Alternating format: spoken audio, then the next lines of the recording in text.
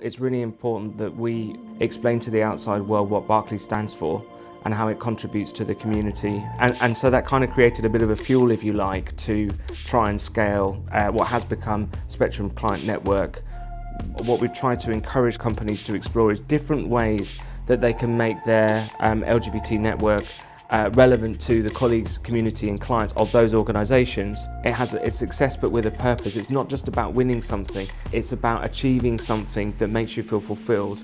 Gosh, the Spectrum Gala Dinner, it is the event that takes a year to plan. The, the dinner has really been positioned to amplify the voice for um, everybody there and the organisation supporting.